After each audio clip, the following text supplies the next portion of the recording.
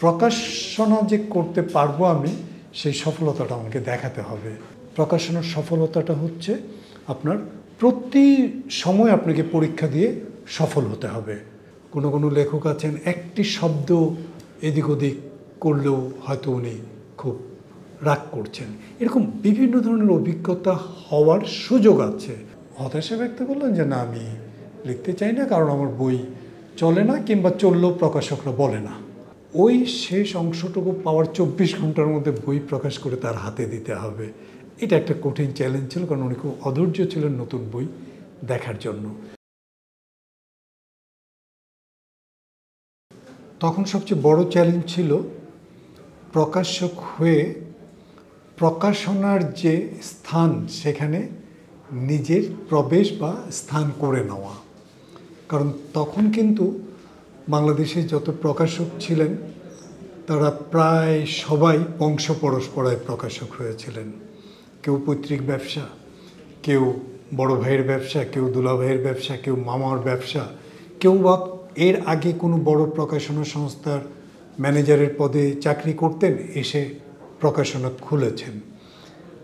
আমার জানা মতে, আমি যখন প্রকাশনা শুরু করলাম, সে সময়ে একেবারেই পারিবারিক ইতিহাস নেই, কিন্তু প্রকাশনায় এসেছি আমি প্রথম।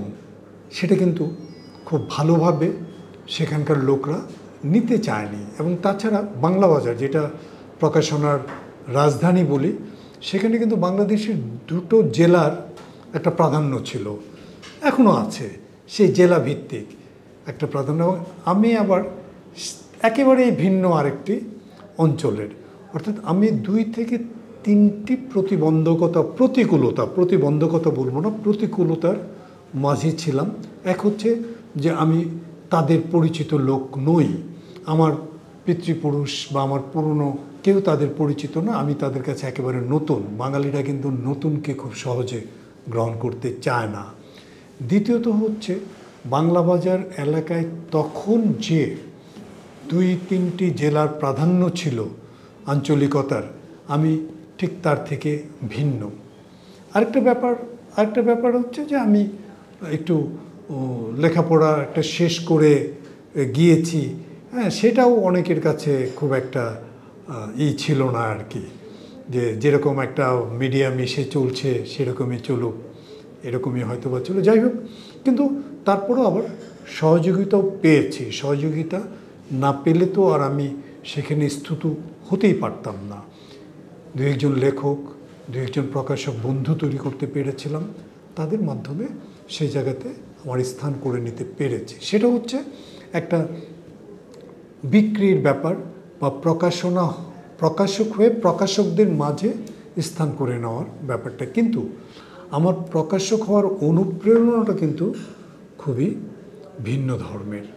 সেটা হচ্ছে আমি প্রকাশক হব কি না এই ধরনের তো খুব একটা আমার ই ছিল না বাট সাহিত্যের মাঝে ছিলাম শিশু সংগঠন করতাম।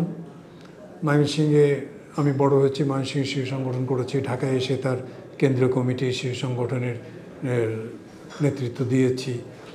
তারপরে আমরা কয়েক বন্ধু মিলে সাহিত্য পত্রিকা বের করলাম। সেই সাহিত্য পত্রিকার সম্পাদক ছিলেন কবি শামসুর রহমান, তখন বাংলাদেশের শ্রেষ্ঠ কবি। এবং শামসুর রহমানের পরামর্শে প্রকাশনা শুরু করলাম অনুবাদ বই দিয়ে, ইংরেজি বইয়ের বাংলা অনুবাদ এবং পেপার ব্যাগ সংস্করণ। এবং একসময় মনে হলো যে পেপার ব্যাগ আসলে খুবই ক্ষণস্থায়ী, এই বইগুলো বেশি দিন থাকে না, বইগুলো টেকে না। এবং এইভাবেই কিন্তু আমার সেই পেপার ব্যাগ থেকে আমি মূল পাবলিকেশনসে হার্ড বাইন্ডিংয়ে আসলাম এবং সময় প্রকাশন নাম দিয়ে হার্ড বাইন্ডিংয়ের এই শুরু করলাম। তখন আমার যে, দু একজন বন্ধুবান্ধব বা সঙ্গী সাথী যাদের সাথে আমার ভালো সম্পর্ক ছিল, তাদের মধ্যে আলী ইমাম ছিলেন। আমিরুল ইসলাম যে খুব তরুণ ছিল তখন এরকম যারা ইমদাদুল মিলন এরকম যাদের কাছে পিঠে আমার ছিলেন তাদের সহযোগিতা বা অনুপ্রেরণা এবং আমি তখন আজিমপুরে থাকতাম। আজিমপুরে শিল্পী কাইম চৌধুরী থাকতেন। কাইম চৌধুরী আমার বাসা প্রায় কাছাকাছি। তার ওইখানে যেতাম, তারও পরামর্শ। সব মিলিয়ে শুরুর দিকটাতে আমি মুক্তিযুদ্ধভিত্তিক বই এবং কিশোর উপযোগী বই এবং সময় প্রকাশনের প্রথম বইটাই ছিল কিশোর উপযুক্ত উপযুক্ত, কিশোর উপযোগী মুক্তিযুদ্ধের নির্বাচিত গল্প। তারপরে দু এক বছরের মধ্যে আমার বাবা শহীদ বুদ্ধিজীবীর সন্তানদের স্মৃতিকথা কিশোর মুক্তিযোদ্ধাদের সত্যি গল্প তারপরে জাতির হ্যাঁ, জাতি একদম সরাসরি নামই জাতির পিতা এবং এই নব্বই সালের আগে জাতির পিতা নামে বই করা যে কতটুকু চ্যালেঞ্জের ব্যাপার সেটা হচ্ছে তখন যাদের অবস্থান ছিল তারা জানে। ঠিক এইভাবেই আমি প্রকাশনটা, এরপরে আমার খুব দ্রুত যেটা হলো সেটা হচ্ছে যে আমি শুরুর দিকেই সৈয়দ শামসুল হক, ইমদাদুল হক মিলন তাদের বই করেছি এবং একেবারে প্রথম দিকেই হুমায়ুন আহমেদের সাথে আমার পরিচয় এবং হুমায়ুন আহমেদ আমাকে যেভাবে হোক হয়তো পছন্দ করেছেন বা ভালোবেসে ফেলেছিলেন এবং হুমায়ুন আহমেদ আমাকে তার সঙ্গী করে নিলেন, একরকম বলতে পারবে, বলতে পারি আমি। এবং এর ফলে প্রকাশনাটা আমার জন্য একটু সহজ হয়ে গেল। প্রকাশনাটা শুরুটা আমার জন্য যতটা প্রতিকূল প্রতিকূল ছিল, কিন্তু পরে আর খুব বেশি কঠিন থাকেনি, অনেকটা সহজ হয়ে গেল। আমি প্রকাশক কেন হলাম? এই প্রশ্নের উত্তর কিন্তু আমার কাছে নেই। এটা বলতে পারেন যে ভালোবাসার থেকে কিংবা আমার যে অ্যাসোসিয়েশন ছিল, কারণ আমি যে বললাম যে আমি ওই পত্রিকা বের করতে গিয়ে কবি শামসুর রহমানের সাথে একসাথে বসে কথা বলতে পেরেছি, গল্প করেছি এবং সেই অধুনা নামে যে সাহিত্য পত্রিকাটা বের করতাম, ধানমন্ডিতে অফিস নিয়েছিলাম, সেই অফিসে তখন যে বাংলাদেশের তরুণ, পরবর্তীতে তারা সবাই খুবই প্রতিষ্ঠিত, যেসব লেখক ছিলেন তারা সবাই এসেছেন তাদের সবাইকে কাছের থেকে দেখেছি। এই এই বিষয়গুলোই আমাকে আমার মনে হয় যে প্রকাশনার প্রতি আকৃষ্ট করে ফেলে। আর সেখানে একটা ইয়েও ছিল চ্যালেঞ্জই ছিল চ্যালেঞ্জ ছিল অন্য রকম সেটা হচ্ছে যে আসল পত্রিকাটা চালাতে পারিনি। হুম, পত্রিকা আপনার সাহিত্য পত্রিকা চালানো খুবই দুরূহ ব্যাপার ছিল। এগুলো তো বিজ্ঞাপন নির্ভরই। তো ব্যর্থতার গ্লানি যেন আমাকে গ্রাস না করতে পারে, এর জন্যই আমি অনেকটা প্রকাশনা করেছি যে না, প্রকাশনা যে করতে পারব আমি, সেই সফলতাটা আমাকে দেখাতে হবে। সেটাও একটা কারণ হতে পারে। সফলতা এবং ব্যর্থতা একটা আপেক্ষিক শব্দ। সাময়িক সময়ের জন্য কোনো জিনিস সে তা ব্যর্থ বলতে পারি আমি কাউকে, আবার সাময়িক সময়ের জন্য কোনো জিনিসে সফলও বলতে পারি। প্রকাশনাটা কিন্তু মানে কি, একেবারে ধারাবাহিক একটা পদ্ধতি এবং অন্য যে কোনো ব্যবসা ইচ্ছা করলে একটা সময় নিয়ে গুটিয়ে ফেলা যায়, হাত গুটিয়ে চলে যাওয়া যায়। কিন্তু প্রকাশনার তো এটা কিন্তু সম্ভব না। সুতরাং প্রকাশনার সফলতাটা কিন্তু চিরস্থায়ী নয়। প্রকাশনার সফলতাটা হচ্ছে আপনার প্রতি সময় আপনাকে পরীক্ষা দিয়ে সফল হতে হবে কিংবা যে কোনো এক সময় আপনি ব্যর্থ হয়ে যেতে পারেন। সফলতাটা সেখানে যদি আপনার প্রকাশনাকে আপনি পাঠকদের মাঝে, সাধারণের মাঝে গ্রহণযোগ্যতা নিয়ে আসতে পারেন, তাহলে হচ্ছে সেখানে সফলতা। অর্থাৎ আপনার প্রকাশনার প্রতি পাঠকের বিশ্বস্ততা থাকবে। পাঠক মনে করবে যে এখান থেকে মিথ্যা কোনো বই বেরোয় না। এখান থেকে অসত্য তথ্য দিয়ে কোনো বই বের হয় না। এবং এরা যে বই বের করে, সে বইয়ের প্রতি তাদের শ্রম এবং আন্তরিকতা থাকে। বইগুলোকে পাঠযোগ্য এবং নির্ভুল করার চেষ্টা করে। সেইটুকু যদি আপনি করতে পারেন, তাহলে আপনি আপনার সফলতার একটা ধাপ উত্তীর্ণ হয়েছেন। আমি খুব কম বয়সে প্রকাশনা শুরু করি, তরুণ বয়সে। ওই বয়সটাই কিন্তু একটা যুবকের বিভিন্ন দিকে যাওয়ার সুযোগ থাকে। আমার সরকারি চাকরির বয়স ছিল, আমি সরকারি চাকরির দিকে যেতে পারতাম। আমার বিদেশ যাওয়ার সুযোগ ছিল, আমি সেদিকে যেতে পারতাম। আমি অন্য যে কোনো ব্যবসা করার সুযোগ ছিল, আমি করতে পারতাম। কিন্তু আমি প্রকাশনাটা যখন শুরু করেছি, তখন আমি এটাও সিদ্ধান্ত নিয়ে নিয়েছি যে এই ব্যবসাটাতেই আমি থাকব। প্রকাশনা, কারণ প্রকাশনাটাকে আমার শুধু ব্যবসা মনে হয়নি। আমাকে, আমি যেহেতু, আমি আগেই বলেছি, আমি যেহেতু সংস্কৃতি সংগঠন করতাম, শিশু সংগঠন করতাম ছোট থেকে, সুতরাং আমাকে প্রকাশনাটাকে একটা সংগঠন মনে হয়েছে। যেখান থেকে আমি ওই শিশু সংগঠনের যে কাজগুলো, সেগুলো আমি করতে পারব, সাংস্কৃতিক সংগঠনের জন্য যেসব সেবার দরকার, সেগুলো আমি দিতে পারব, এটা কিন্তু আমার প্রকাশনাটাকে মনে হয়েছে এবং আমি কিন্তু করেওছি। আমি কিন্তু শুধু বই প্রকাশ করে থেকেছি তা না। আমি কিন্তু শুরুর থেকে বিভিন্ন ধরনের অনুষ্ঠান করেছি। প্রকাশনা অনুষ্ঠান তো একরকম থাকেই, গদবাদ অনুষ্ঠান। কিন্তু বই নিয়ে, লেখকদেরকে নিয়ে যে বিভিন্ন ধরনের অনুষ্ঠান করতে হয় সেই অনুষ্ঠানগুলো আমি করেছি। যখন বাংলাদেশে প্রথম গণিত অলিম্পিয়াড শুরু হয়, গণিতের উপর কোনো বই নেই, তখন কিন্তু আমি গণিতের উপর বই বের করা শুরু করেছি। আমি বিদেশে বেড়াতে গেলে ওই এয়ারপোর্টে কোনো ট্রানজিট যখন থাকতো, তখন আমি ঘুরতাম ঘুরে ঘুরে। এই গণিতের উপর বই জোগাড় করতাম, নিয়ে আসতাম, অনুবাদ করতাম এবং গণিত অলিম্পিয়াড কমিটি কিন্তু গণিত উৎসবের সময় আমাকে এর জন্য তারা পুরস্কৃত করেছিলেন।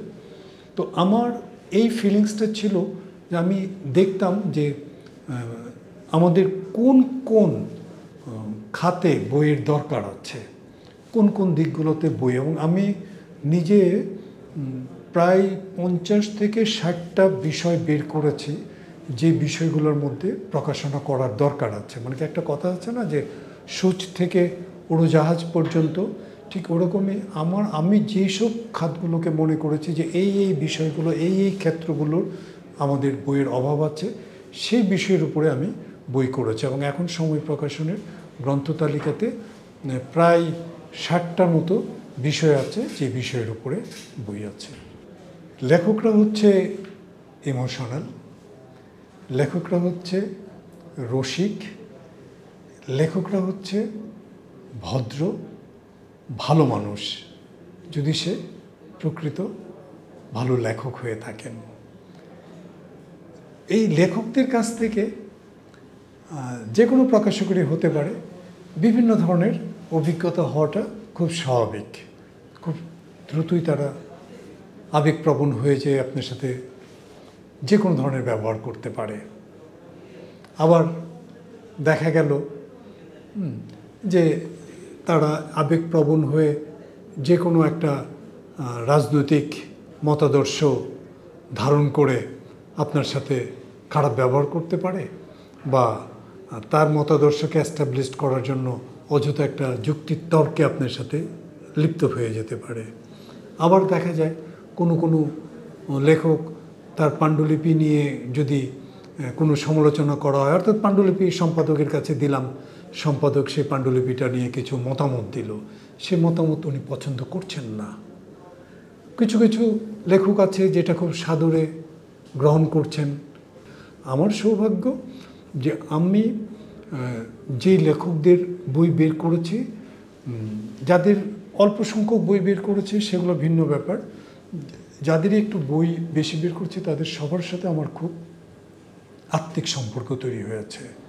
খুব ভালো সম্পর্ক তৈরি হয়েছে এবং সেই সম্পর্কগুলো দীর্ঘদিন স্থায়ী করেছে।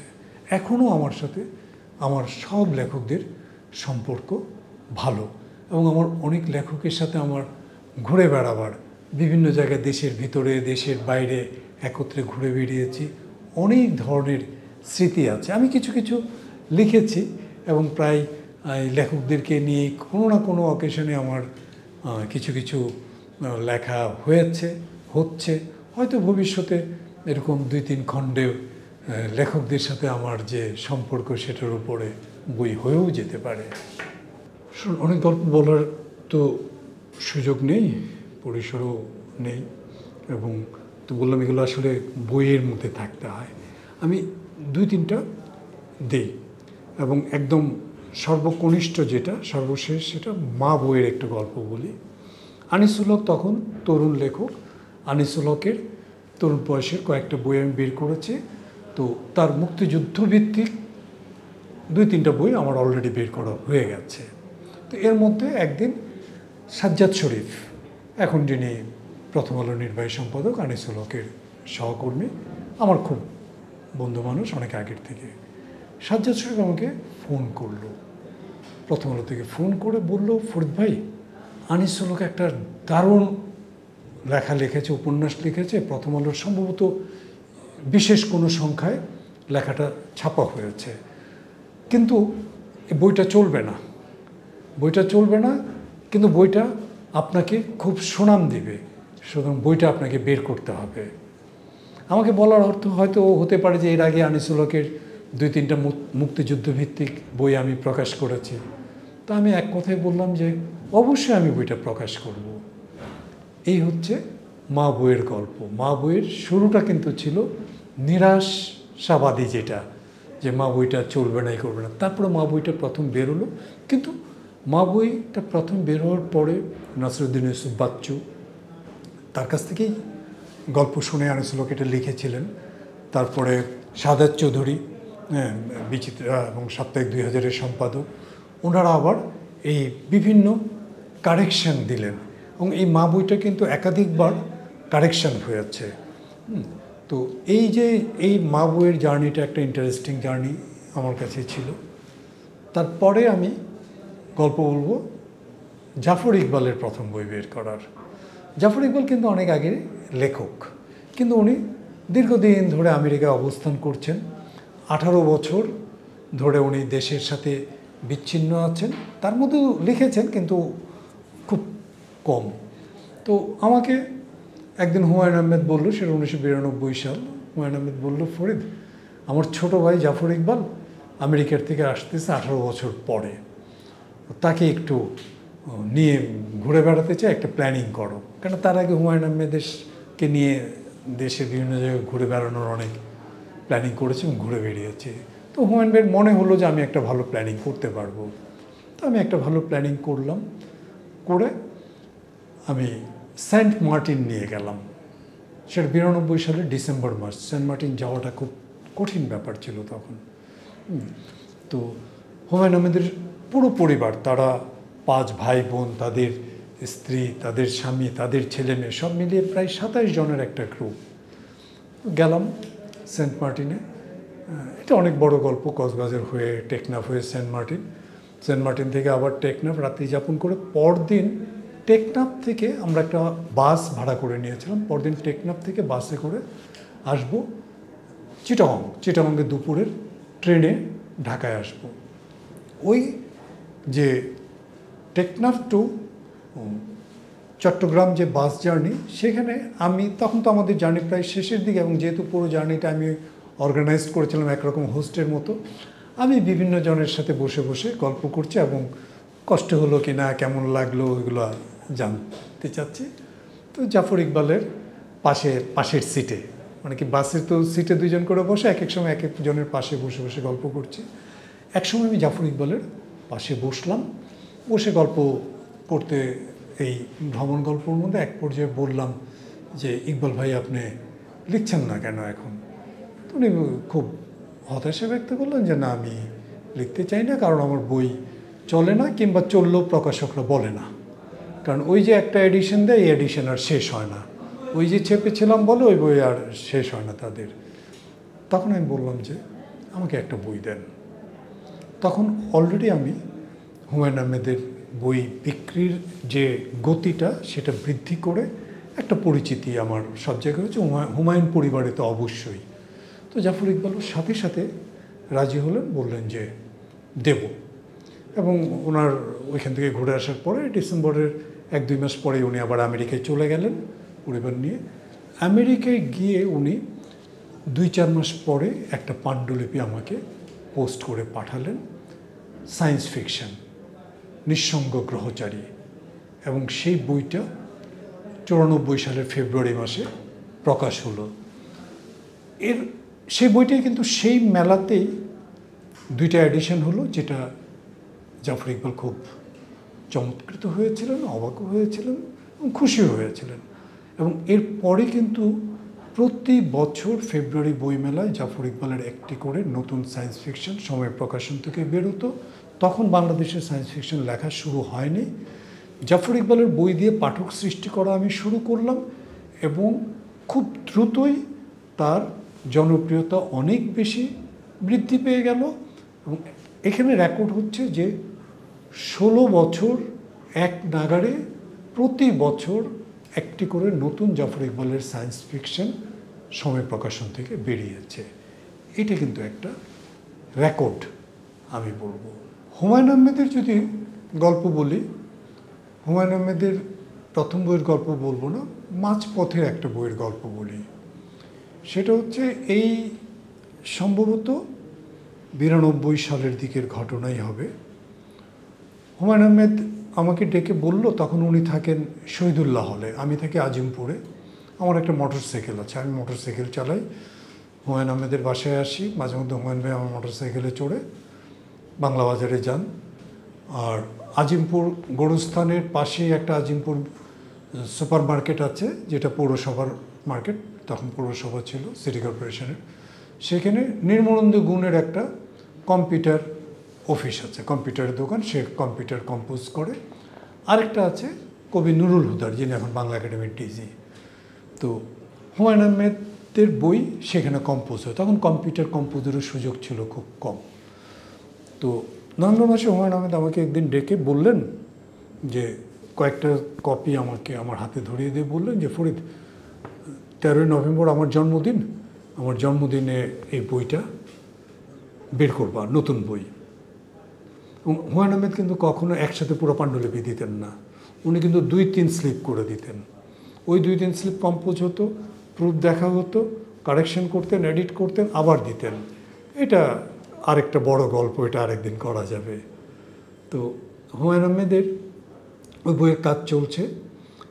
আর হুমায়ুন আহমেদের সবচেয়ে বড় যেটা ছিল, সেটা হচ্ছে যে উনি শেষ যেদিন করবেন আমরা জানতাম না কবে শেষ করবেন, কিন্তু উনি শেষ দিন ওই উৎসর্গটা দিয়ে শেষ চ্যাপ্টারটা হাতে দিয়ে বলতো বেস্ট অফ লাক যাও, কালকে বই দেখতে চাই, বলে উনি ওনার রুমে চলে যেতেন।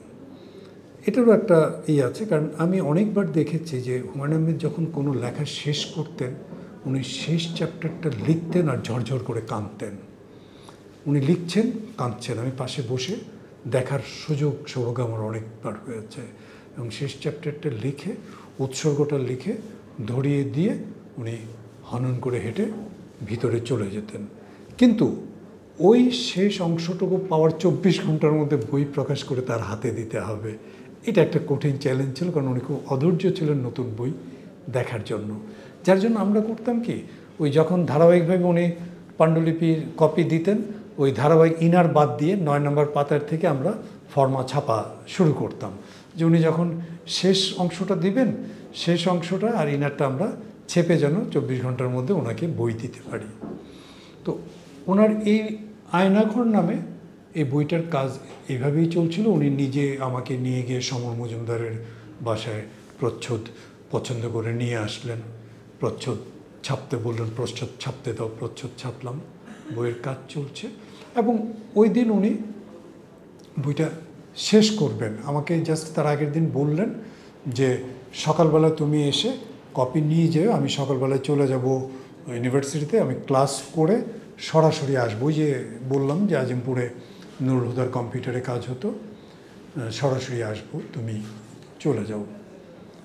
তো আমি পরদিন সকালবেলাতে গিয়ে কপি নিয়ে এলাম। নিয়ে আমি কম্পিউটারে বসে কাজ করছি, তখন আমি সংবাদ পেলাম আমার আম্মার মৃত্যু সংবাদ। তো আমি আমার কাজকর্ম সব রেখে দিয়ে বাড়িতে চলে গেলাম খুব স্বাভাবিকভাবে। তো হুমায়ুন ভাই এসে এসেছেন ইউনিভার্সিটি থেকে সরাসরি কম্পিউটারে গেছেন, গিয়ে উনি শুনেছেন আমার এই সংবাদ। তো আমি যে ময়মনসিংহে চলে গিয়েছিলাম আমি একেবারে চার দিন পরে এসেছি। আমি, এর মধ্যে আমার আর কোনো খোঁজখবর ছিল না। তখন কিন্তু টেলিফোনের সুযোগ ছিল না, মোবাইলের সুযোগ ছিল না। আমি এসে তখন যখন আমি আবার ঢাকায় এলাম, তখন আমি আবার আমার রাজ্যে এলাম। তখন আমার মনে পড়ল, আরে, আমি তো হুমায়ুন আহমেদের একটা বইয়ের কাজ করছিলাম হুমায়ুন আহমেদ তার জন্মদিনে বইটা চেয়েছিলেন। এটার কি হলো? আজ কোথায় কি অবস্থা? সুতরাং আমি সন্ধ্যার পরে, রাতে সরাসরি তার বাসায় চলে গেলাম। শহীদুল্লাহ হলে বাসায় যেতে যাওয়ার সাথে সাথে তার বড় কন্যা দরজা খুলে দিল। খুলে দিয়ে বলল আঙ্কেল আপনি বসেন। ড্যাডি বলে গেছে আপনাকে আপনি এলে বসতে দিতে। ড্যাডি ক্লাবে গেছে। তখন ওই ঢাকা ইউনিভার্সিটির যে টিচার্স ক্লাব প্রতিদিনই যেতেন। হ্যাঁ, চলে আসবে আপনি বসেন। আমি বসলাম। কিছুক্ষণ পরে নোভা ভেতর থেকে একটা বই এনে টেবিলে রাখল। প্রথমে আমি বুঝতে পারিনি। মনে করলাম যে আমি বসবো, এর জন্য আমাকে বই পড়তে দিচ্ছে আমি দেখলাম যে বইটার নাম আয়না ঘর এবং সেই প্রচ্ছদটি, যে প্রচ্ছদটি আমি তৈরি করেছিলাম। আমি আমি প্রথমে একটু শঙ্কিত হলাম যে ঘটনা কি, বই বেরোলো কী করে? তাহলে কি হুমায়ুন আহমেদ তার কথা মতো তার বই অন্য কোনো প্রকাশক দিয়ে বের করেছে? পরে বইটা খুলে দেখলাম, না, বইয়ের প্রকাশক সময় প্রকাশন। পরবর্তীতে আমি যেটা জানতে পারলাম যে হুমায়ুন আহমেদ ওই যে কম্পিউটারে সেকশনে যে গিয়েছিলেন, গিয়ে উনি যখন আমার এই ঘটনাটা শুনলেন, শোনার পরে উনি নিজে আমার দায়িত্বটা নিয়ে নিলেন। কম্পিউটারের পাশে বসে উনি বইয়ের পুরো কাজ শেষ করলেন এবং আমার পরিচিত আরেকজন প্রকাশক যিনি হুমায়ুন আহমেদের প্রকাশক, তাকে ডেকে আনলেন। এনে তাকে বললেন যে, ফরিদ, যেই প্রেসে ছাপে, ওর কাগজ কেনা আছে, কাগজ রেডি করা আছে কভার রেডি করা আছে, আমি জানি আপনি এই বই ছেপে রেডি করে আমাকে দিবেন। এটা আমার জন্য একটা খুব, খুবই, কি বলব, খুবই টাচি একটা ব্যাপার ছিল। হুমায়ুন আহমেদের আম্মার বই। এটা আমি, হুমায়ুন আহমেদের আম্মার এই পাণ্ডুলিপিটা আমাকে হস্তান্তর করেন জাফর ইকবাল। এবং জাফর ইকবাল, হুমায়ুন আহমেদ, তারা তার আম্মাকে খুব ভালোবাসতেন, খুব স্নেহ করতেন, খুবই সম্মান করতেন, শ্রদ্ধা করতেন। মানে কি, মা ভক্ত সন্তান প্রচুর আছে, কিন্তু আমার কাছে একটা এক্সাম্পল ছিল।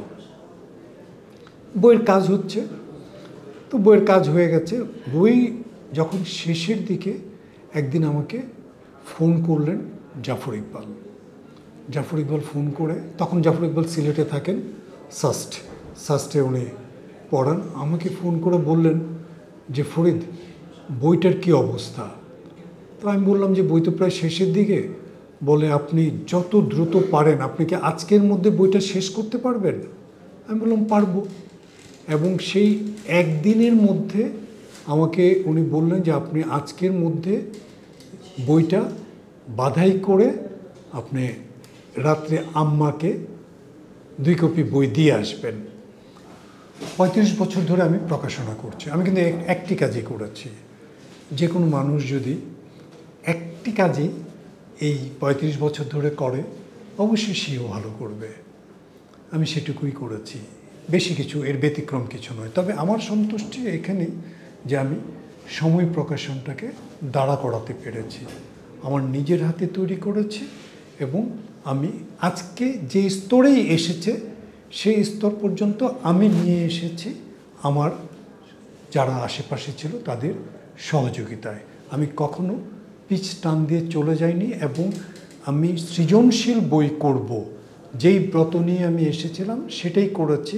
আমি অন্য কোনো ধরনের গাইড বই আছে, নোট বই আছে, একাডেমিক কত ধরনের বই করা যেত এবং আমরা দেখেছি যে তখন যখন শুরু করেছিলাম, তখন আমাদের যারা সমসাময়িক গাইড বইয়ের ব্যবসায়ী ছিল, তারা আজকে আর্থিক দিক থেকে কত উপরে চলে গেছে। কিন্তু সেদিকে নজর দিইনি। এটা হচ্ছে আমার স্যাটিসফ্যাকশনের বিষয়। আমি পাঠকদেরকে শুধু ধন্যবাদ দিতে চাই না। যদি পাঠক না থাকতো, তাহলে সময় প্রকাশন থাকতো না, আর ৩৫ বছর তো একটা দীর্ঘ পরিক্রমা। এই ৩৫ বছরে প্রথম যাত্রায় যারা সময়ের পাঠক ছিল, তারা বাবা হয়েছে। তাদের সন্তানরাও সময়ের পাঠক হয়েছে। সুতরাং সময়ের সমস্ত পাঠক এবং শুভনুধ্যায়ী যারা আছেন, তাদের কাছে আমি সবসময় কৃতজ্ঞ। আমি আমার কৃতজ্ঞতা প্রকাশ করি এবং একটি কথা আমি সবসময় বলি যে, সময়ের প্রকাশক আমি, সময়ের সত্ত্বাধিকারী আমি নই। সময় প্রকাশনের সত্ত্বাধিকারীর সেই সত্যের দাবিদার সময় প্রকাশনের সাথে সম্পৃক্ত সবাই, লেখক এবং পাঠক, তারা সবাই। সুতরাং এটা সবার প্রতিষ্ঠান। আমার অনুপস্থিতিতে সময় প্রকাশনের সত্য তাদের থাকবে এবং আমার এই প্রতিষ্ঠানকে চলমান রাখার দায়িত্ব তাদের উপরেই বর্তাবে।